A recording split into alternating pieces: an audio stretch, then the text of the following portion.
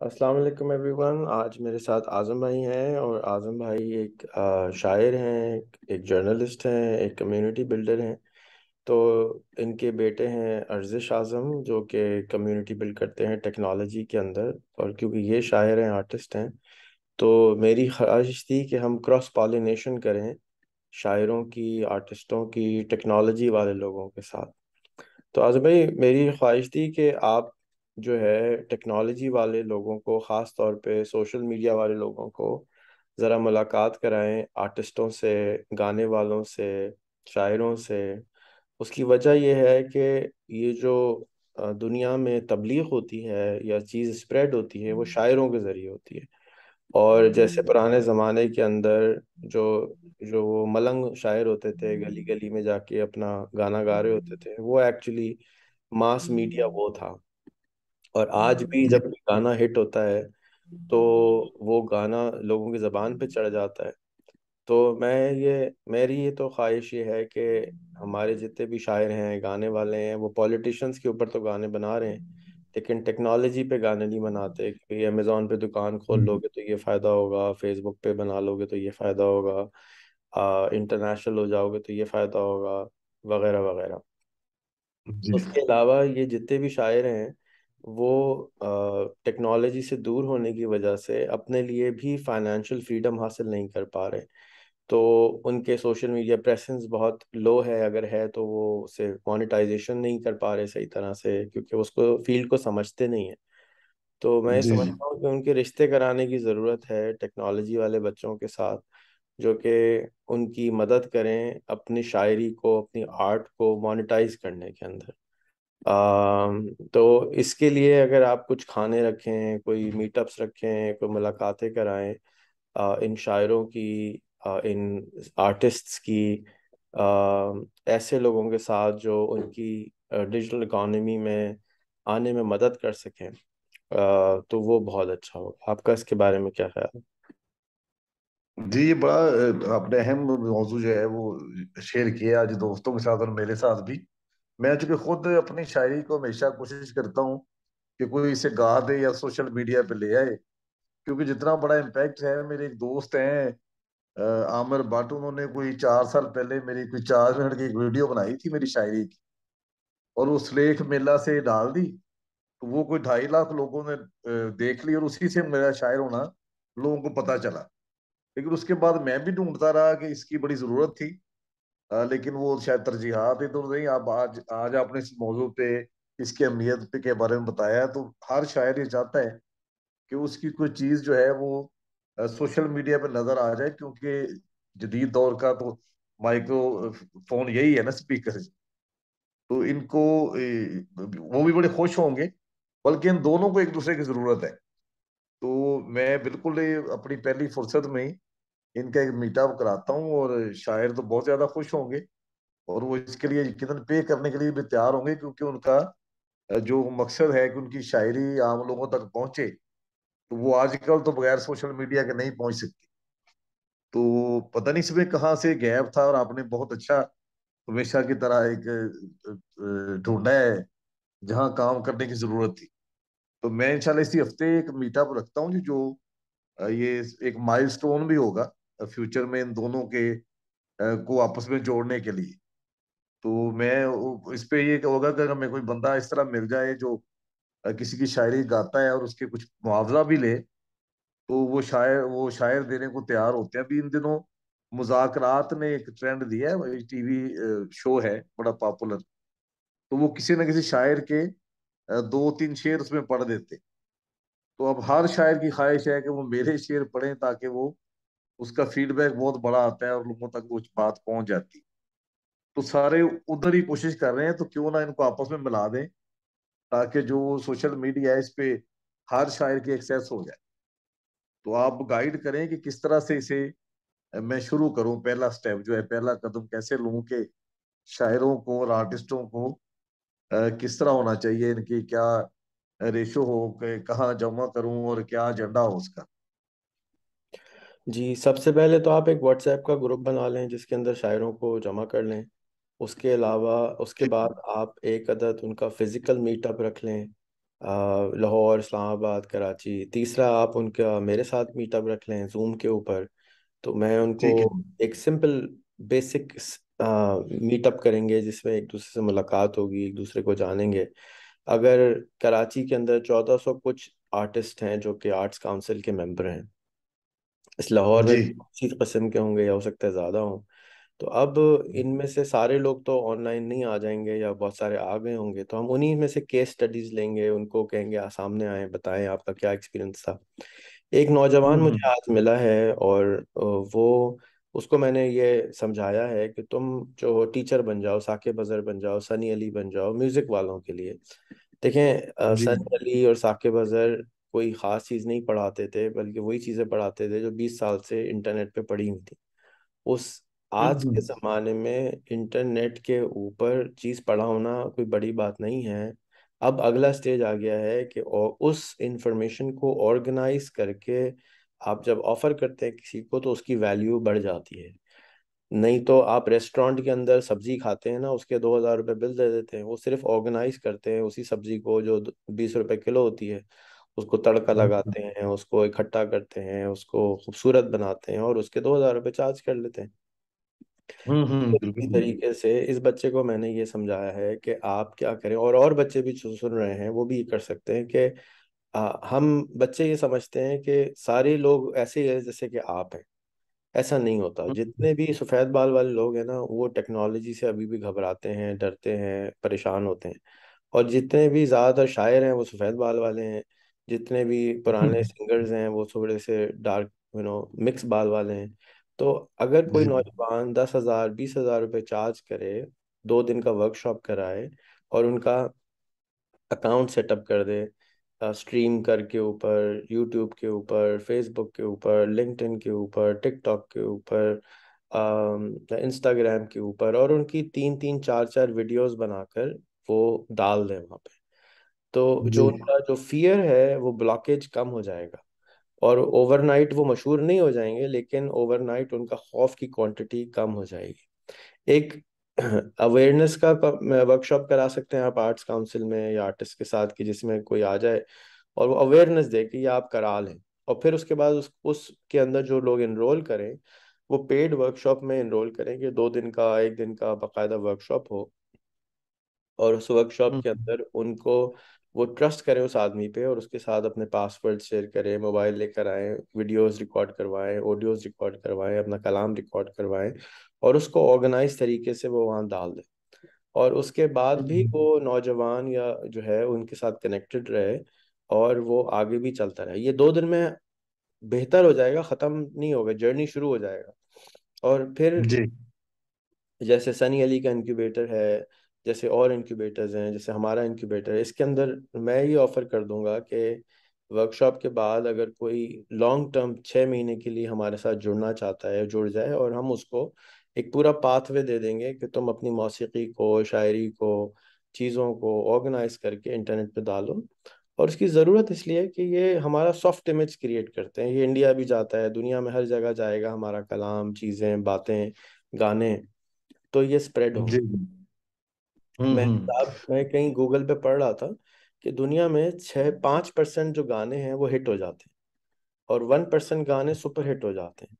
तो हम्म अब हमारे पास बहुत सारे गाने वाले हैं अगर वो कुछ भी ना करें वो दुनिया के टॉप गाने ले लें और हम्म। अ, उन गानों को अपनी ज़बान में ट्रांसलेट करें उर्दू में पंजाबी में सिंधी में और ट्रांसलेट करके अपनी धुन बनाएँ और उनको दोबारा गा दें।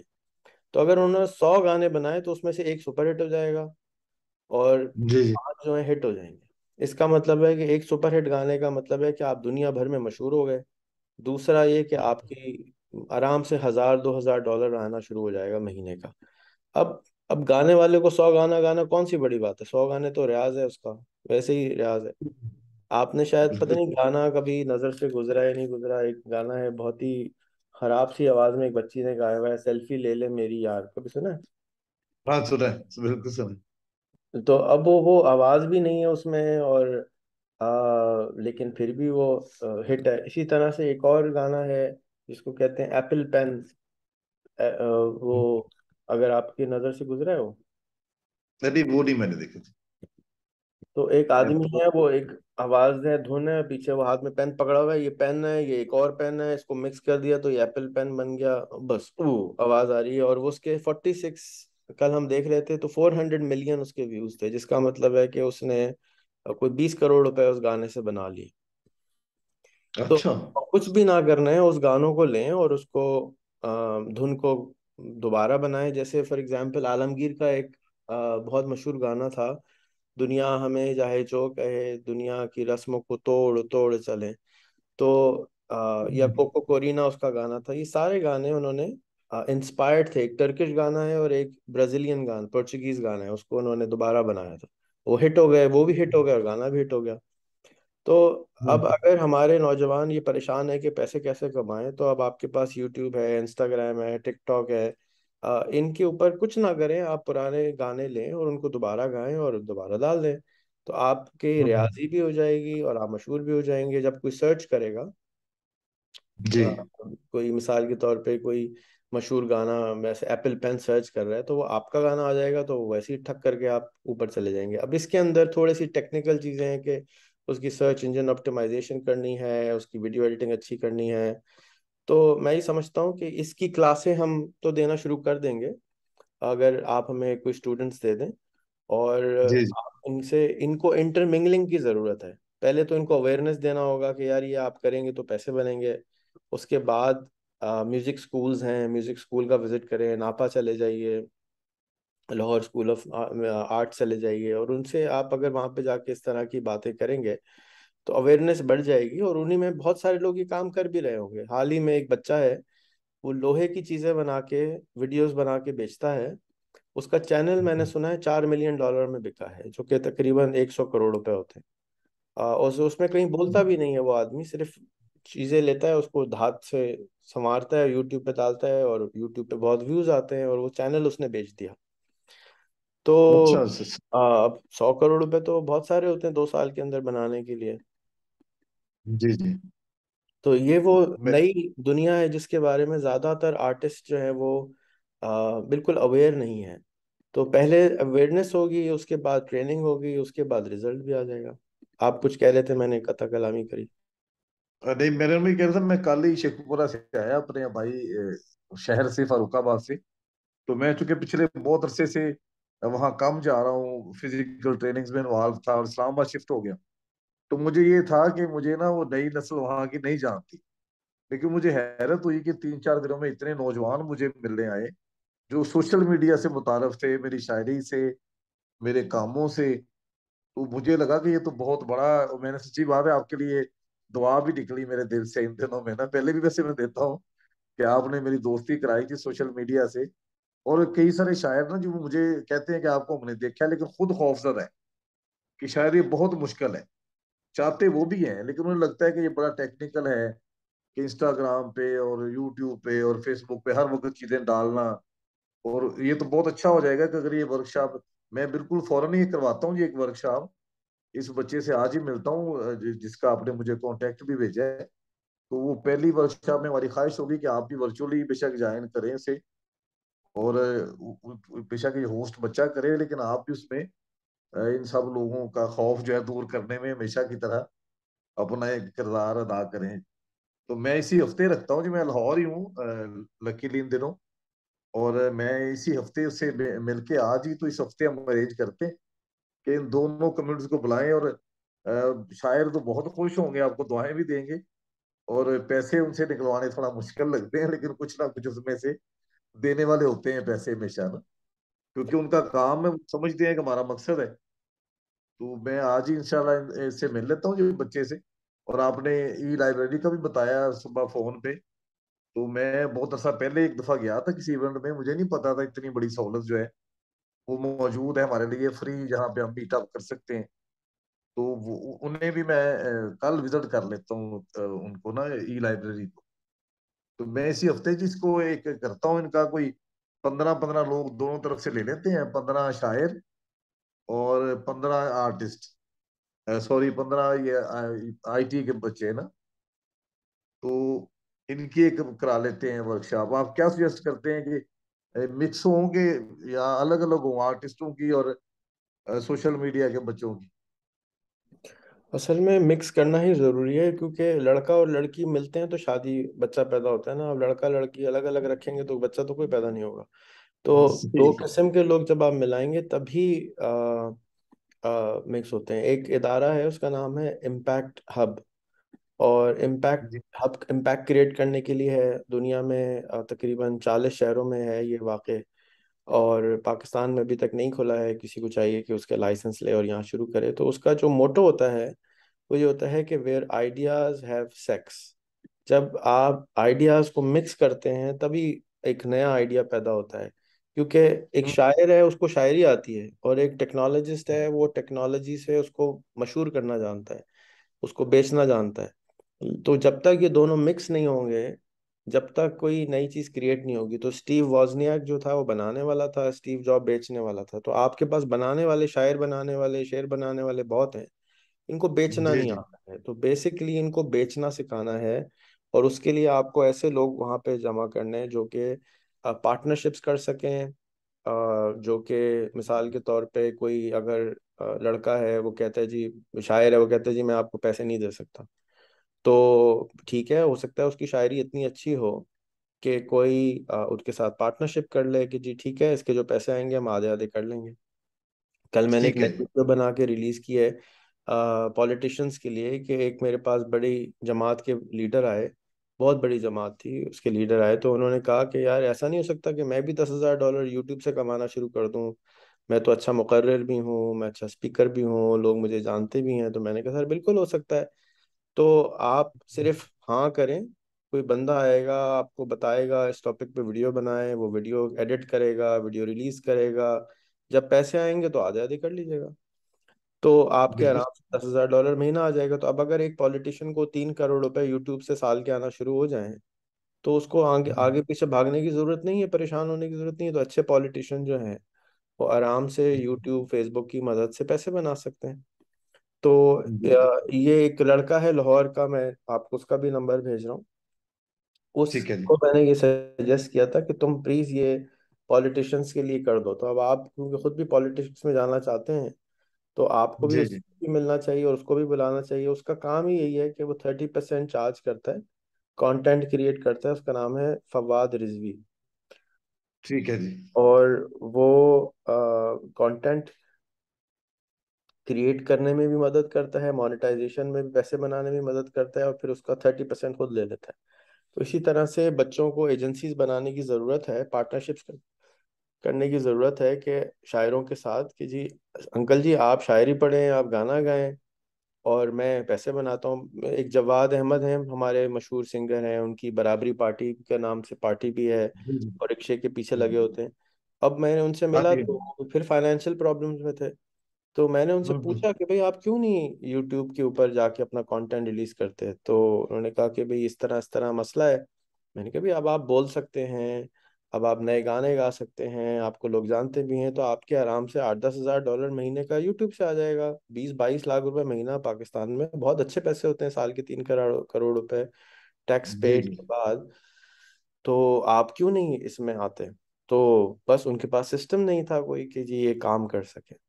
तो मैं ये समझता हूँ एक बहुत सख्त ज़रूरत है इस तरह के इदारे की और आपको चाहिए कि अपने किसी बच्चे के साथ मिलके एक एजेंसी बना लें और अपने दोस्तों को कैश करें कि भाई तुम लोग आ जाओ हाँ आपको जज भी कर सकते हैं कि भाई वो बंदा अच्छा शायर है या बेकार शायर है अच्छा गाने वाला है कम शायर है बड़ा पॉलिटिशियन है छोटा पॉलिटिशियन है।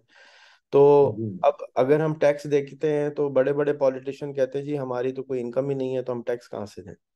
तो आप उनकी तीन करोड़ रुपए साल की इनकम भी करवा दें और उस पर वो तीस लाख रुपए टैक्स भी दे देंगे आराम से। तो आप जानते भी हैं सबको और उनके लिए सिर्फ़ ये कि सिस्टम बनाना होगा कि भाई आप आ जाए ये स्टूडियो है यहाँ रिकॉर्डिंग होगी या ये हमारा बंदा आ जाएगा ये सेटअप हो हम्म, जाएगा और इसको everybody is happy in that way. क्या ख्याल है आपका बिल्कुल बहुत अच्छा है सर, ये बिल्कुल बल्कि कल मैं ना वो अपने कुछ दोस्तों को, शेखुपुरा में नईम सिकंदर का बता रहा था सक्सेस स्टोरी तो मैंने बताया कि रेहान भाई ने मुझे बुलाया, मैं उसके ऑफ़िस गया तो मैं पूछना चाह रहा था कि इसका किराया है कितना। है तो उन्होंने बताया कि ये प्लाजा इसका अपना है बच्चे का, और इसने सौ करोड़ का खरीदा है। तो अब वो आम बंदा तो यकीन नहीं करता ना कि ऑनलाइन को बंदा साढ़े तीन सौ करोड़ की कोई चीज़ बेच सकता है। लेकिन ये तभी एक्सपीरियंस होगा जब वो वर्कशॉप में आएँगे, आमने सामने बैठेंगे और उनका काम कोई एक एक चीज़ हम डाल देंगे सोशल मीडिया पे। और जब हर जगह लोग, अब जिस तरह शेखपुरा में हर बंदा ही मुझे पूछ रहा था कि आपकी शायरी हम सुनते हैं तो मुझे हैरत हुई यार कि इतना बड़ा इम्पैक्ट है इसका। तो मैं भी इरादा करके आया हूँ कल के मैंने मजीद इस पे काम करना है, ताकि अगर यहाँ बैठे हुए मेरा पूरा इलाका मुझे जान रहा है और सारी कम्युनिटी तो मैं क्यों ना सोशल मीडिया पे ही फोकस करूँ, जिसकी वजह से इतना अमेजिंग इम्पैक्ट मुझे मिला है इस दफ़ा ना जिस हफ़्ते। तो मैं बिल्कुल करता हूँ जी ये तो। बहुत अच्छा आपसे बात भी हो गई और मैं इस हफ़्ते इतफाकन यही सोच रहा था। मेरे दोस्त भी हैरान थे कि यार तुम आते तो कम हो। इतने नौजवानों को तुम्हारा कैसे पता है शायर होने का तो मैंने कभी सोशल मीडिया से। तो ये मैं भी चाहता हूँ इसमें मजीद ग्रो करूँ और जब मैं कर रहा हूँ तो मेरा देखा देखी मेरे दोस्त शायर वो भी आ जाएँगे लेकिन ये तीस जो है ये हम फौरी तौर पे करते हैं जी एक माइलस्टोन सेट इसी हफ़्ते में आज ही बच्चे से बात कर लेता हूँ। और ये लाइब्रेरी में रखेंगे जिस तरह आपने गाइड किया है। तो और ई लेता लाइब्रेरीज जो हैं वो forty six cities of Punjab में मौजूद हैं फ्री ऑफ़ चार्ज हैं हर में ऑडिटोरियम है प्रोजेक्टर होता है म्यूज़िक सिस्टम होता है वाईफाई होता है बिजली होती है और नो चार्ज है सिटी की तरफ़ से गवर्नमेंट की तरफ़ से फ्री में मिलता है। तो ये बहुत अच्छी फैसिलिटी है। यहाँ पर आप जो है बाकायदा अपने वर्कशॉप सीरीज़ अपनी ट्रेनिंग सीरीज़ जो है वो शुरू करा सकते हैं। और आप जी जो आर्ट्स के लिए काम कर रहे हैं तो मैं तो सजेस्ट करूँगा कि आर्ट्स काउंसिल में रखें क्योंकि जो टिपिकल टेक्नोलॉजी का बंदा होता है वो आर्ट्स काउंसिल कभी नहीं गया होता है। तो जब वो आर्ट्स काउंसिल जाएगा उसकी कोई दोस्ती होगी आर्ट्स काउंसिल वालों से दो चार फोटोएँ लेगा सेल्फियाँ लेगा नंबर्स एक्सचेंज करेगा तो क्रॉस पॉलिनेशन हो जाएगी। जब तक क्रॉस पॉलिनेशन नहीं होती फ्रूट नहीं आता है। बिल्कुल सही। बिल्कुल, चलिए, ये और भी ज़्यादा अच्छा है, मैं आर्ट्स काउंसिल पे भी उनसे बात कर लेता हूँ और वहीं पे कर लेंगे ताकि उन्हें पता हो कि इतनी बड़ी कम्युनिटी एक यहाँ भी है जो आर्ट्स काउंसिल के मेंबर है। तो मैं इनसे बना लेता हूँ इंशाल्लाह हम इसी हफ़्ते में कर लेते अल्लाह करे कि आपकी भी कोई असाइनमेंट लाहौर में आ जाए, कोई मीटिंग आपकी। तो आप इसमें शामिल भी हो जाए, वरना वर्चुअली तो आप ज़रूर हो जाएँगे इसमें। आप तमाम आर्ट्स काउंसिल में एक जैसे हमने टूर रखा था ना, उस तरह भी फ्यूचर में रख सकते हैं कि हम लाहौर जाएँ, मुल्तान जाएँ गुजरावाला जाएँ, शेखुपुरा जाएँ फारुखाबाद जाएँ, तमाम जगह पे आर्ट्स काउंसिल्स हैं। और आर्टिस्ट, मैं बहुत ज़्यादा बिलीव करता हूँ कि आर्टिस्ट की अब ज़रूरत हो गई है। मैं आपको एक किस्सा सुनाता हूँ। एक जी मैडम है पाकिस्तानी तुर्क ईरानियन खातून है सीनियर औरत हैं। तो उनके से मैं मेरी मुलाकात हुई मैं आर्टिस्टों से नहीं मिलता था मैं कहता था कि ये अ, अमीरों के शौक होते हैं।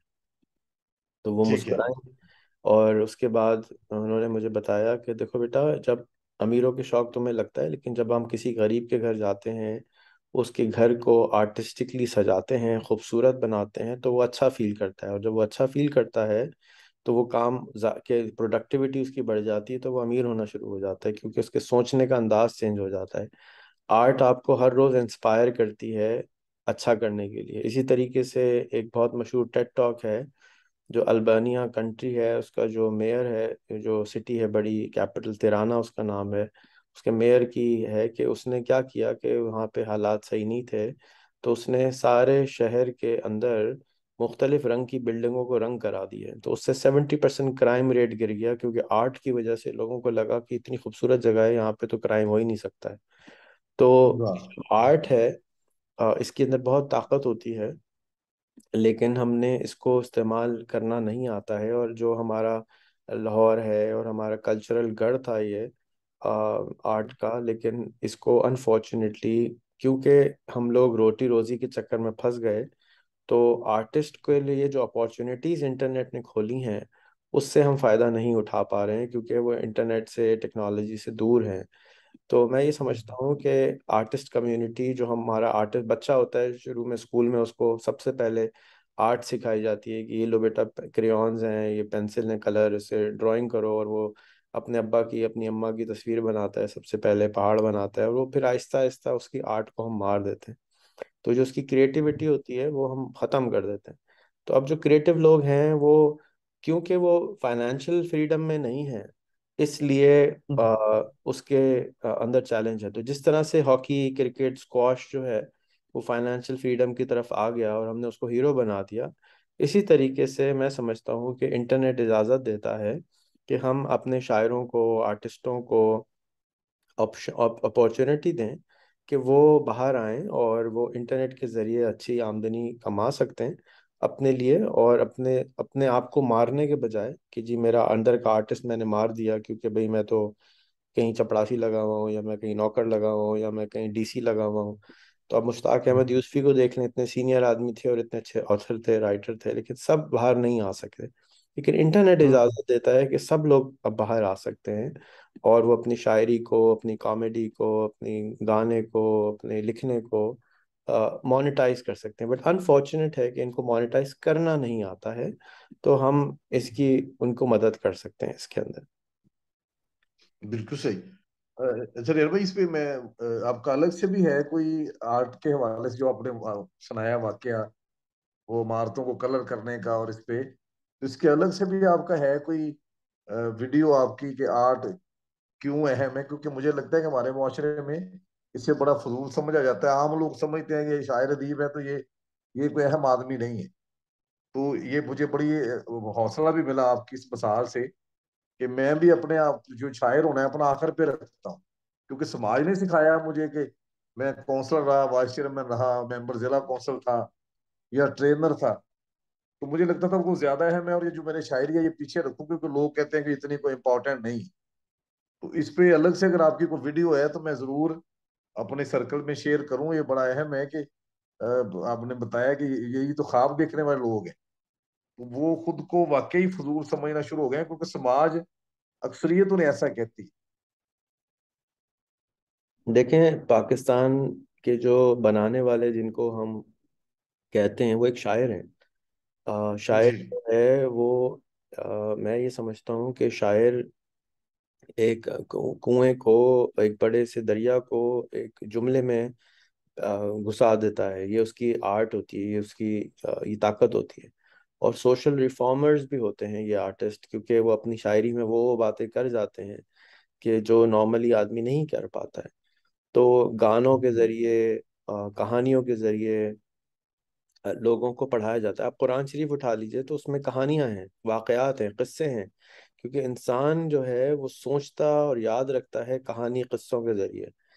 तो अ, बहुत इम्पोर्टेंट सब्जेक्ट है ये आर्ट लेकिन जैसे कि मैंने कहा कि हम रोटी रोजी के चक्कर में आर्ट के आर्ट को पीछे रख गए और हमेशा से आर्टिस्ट पीछे रहा है। मरने के बाद कुछ रेनेसांस के ज़माने के जो आर्टिस्ट हैं उनकी वैल्यू है लेकिन आज के दौर में इंटरनेट के ऊपर एटसी जैसे प्लेटफॉर्म के ऊपर और और जैसे प्लेटफॉर्म्स के ऊपर आर्टिस्ट को लिबरेशन मिली है आज़ादी मिली है कि वो अपनी आर्ट को बेहतर तरीके से अपने कबीले को ढूंढ सकता है। इंटरनेट ना होने की वजह से अब एक गाँव एक छोटा सा गाँव है उसमें कोई शायर पैदा हो भी गया कोई गाने वाला पैदा हो भी गया तो लोगों उसे वो फ़ार्मिंग तो कर नहीं सकता वो काम नहीं कर सकता तो उसकी कोई वैल्यू नहीं है। लेकिन अब वो अगर इंटरनेट पे आ जाए तो वो अपने उस आर्ट को और अपने कबीले को बाकी आर्टिस्टों को ढूंढ सकता है बहुत आराम से। उन तक पहुँच सकता है उन तक अपनी आवाज़ पहुँचा सकता है उन तक अपनी बात पहुँचा सकता है और एक और एक ग्यारह बनना शुरू हो जाते हैं क्योंकि अकेले आदमी नहीं कर पाता है। तो जो आर्टिस्ट है उसको एक ऐसा आदमी चाहिए जो कि कारोबारी हो और उसकी आर्ट को मोनिटाइज करना पैसे कमाना क्योंकि रोटी रोजी भी तो चाहिए ना। वो कैसे हासिल करना है ये एक अलग चैप्टर है पूरा जो कि आर्ट्स काउंसिल में इसका कोई डिपार्टमेंट नहीं है। मैं साथ ही सौर हम्म, ये हम्म, समझता हूँ कि आर्ट्स काउंसिल के जो बड़े हैं वो अगर इस बात को समझें कि आर्टिस्ट की मोनेटाइजेशन इतनी ही इम्पोर्टेंट है जितना आर्टिस्ट होना। आर्टिस्ट को सराहना कोई का कोई फ़ायदा नहीं है जब तक कि उसके पास गाड़ी ना हो कपड़ा ना हो मकान ना हो घर ना हो।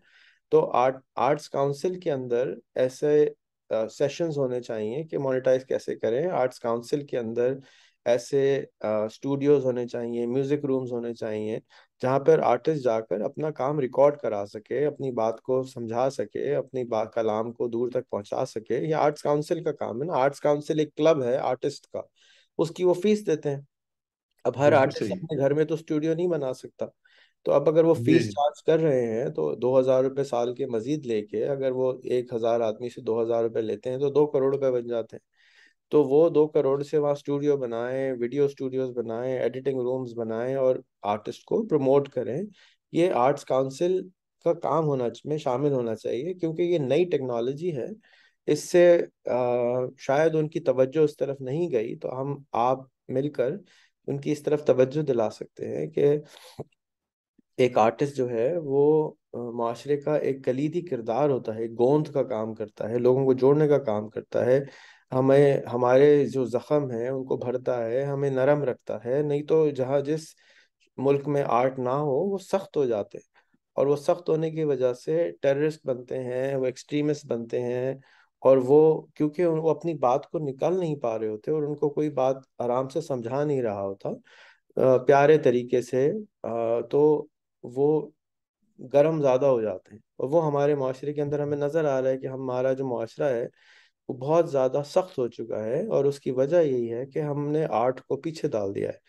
ये तो अल्लाह का शुक्र है कि अब लाहौर में चाय खाने बहुत खुल रहे हैं कवालियाँ होती हैं, गाने होते हैं, महफिलें सन लगती हैं, जिसमें लोग आके रिलैक्स कर सकते हैं, बातें कर सकते हैं, नए लोगों से मुलाकात कर सकते हैं। तो मैं दुआ करूँगा कि ये बाकी शहरों में भी फैलें।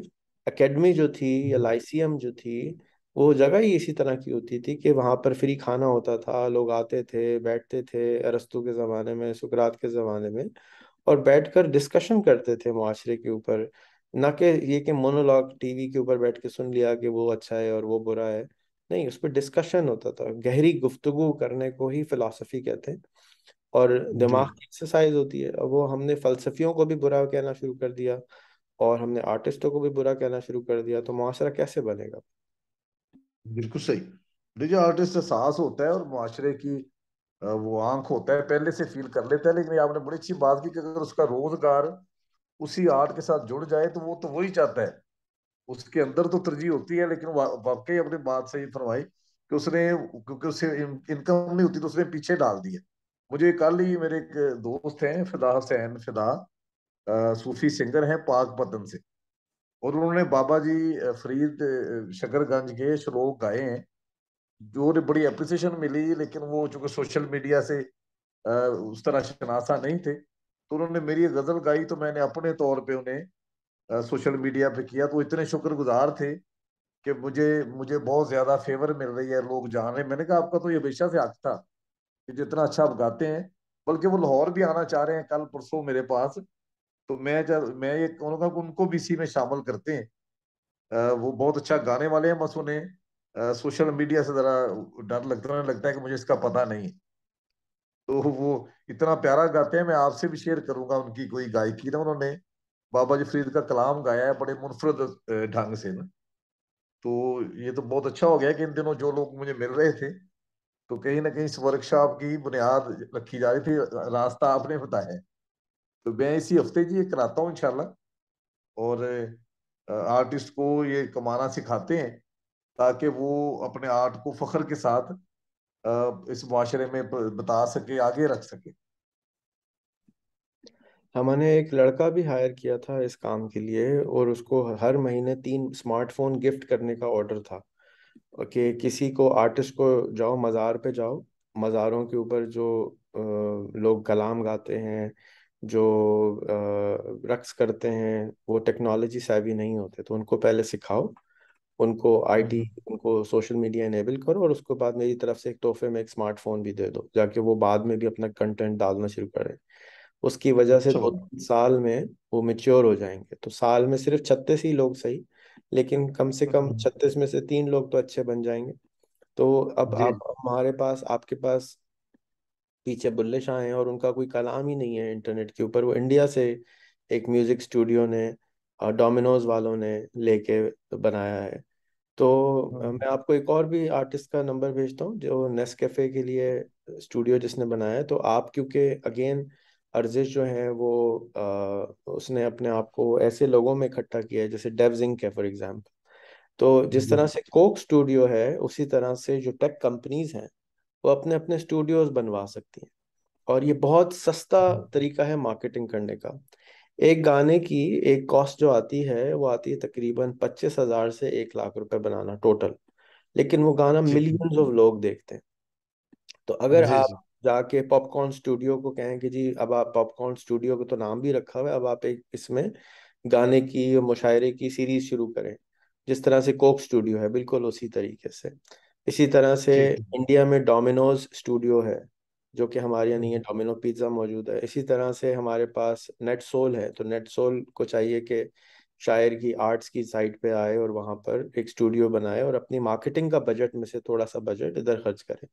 तो कोका कोला ने बना लिया है पेप्सी ने नहीं बनाया है गोरमे है आपके पास आप गोरमे के पास जा सकते हैं बंदू खान के पास जा सकते हैं। जो भी आपके पास खाने वाले नए ब्रांड्स हैं बड़े ब्रांड्स हैं जिनके पास पैसे हैं जो एक आध परसेंट अपने मार्केटिंग का बजट इस पर खर्च कर सकते हैं तो ये एक बहुत सस्ता तरीका है। अब देखिए अगर हम पाकिस्तान में सिर्फ़ तीन सौ पैंसठ गाने बना के सिर्फ़ इंटरनेट पे हर महीने साल डाल दिया करें तो उसमें से एक परसेंट गाने ने सुपरहिट होना ही होना है। अगर हम अंग्रेज़ी गाने भी माड़े बना के डाल दें तो तीन हम्म, गाने हमारे मशहूर हो जाएँगे जिसका मतलब है कि हम फ्यूचर का एबा बना सकते हैं जो कि स्वीडिश ग्रुप था क्रैनबेरीज बना सकते हैं, जो कि एक स्वीडिश ग्रुप था, और वो दुनिया में नाम पैदा करता है अपने मुल्क का और अपने लिए तो करता ही है, और अपने मुल्क के अंदर हमारा मुल्क अभी ओसामा बिन लादेन से पहचाना जाता है, फिर हमारे कलाम से और गानों से पहचानना शुरू हो जाएगा। तो मैं समझता हूँ कि एक बहुत सस्ता तरीका है पाकिस्तान की ब्रांडिंग और कंपनीज़ की ब्रांडिंग करने के लिए म्यूज़िक और गाने और इस तरह की चीज़ों को। जी। मैं रात में रेन भी गया था कि हमारे दोस्त हैं जियाद चावला इंडस्ट्रियलिस्ट हैं लाहौर में तो उन्होंने अपने घर में क्लासिकल खाना और पाए की, वो क्लासिकल मौसीकी और पाए खाने का दोनों एक इवेंट रखा था। तो हम कुछ तीस लोग थे तो मैंने गाड़ी से स्टैंड निकाला और उसको लाइव कर दिया। तो सुबह सारे लोग शुक्रिया अदा कर रहे थे अभी फ़ोन करके कि वो हम रिकॉर्ड नहीं कर सके, आपने वो महफूज कर ली तो वो मेरे मेरे टाइम लाइन में पड़ा हुआ इतना अच्छा अच्छा वो डॉक्टर थे, कोई प्रोफेशनल नहीं थे गाने वाले खालिद सईद वो एनेस्थीजिया के माहिर हैं और बहुत अच्छा गाते हैं। तो वो भी इतने शुक्रगुजार हो रहे थे कि यार तुमने रिकॉर्ड किया और लाइव किया। तो वो मुझे लगता है कि सारी चीज़ें इतफाक से ही ना इन दिनों ही जुड़ रही थी। तो वो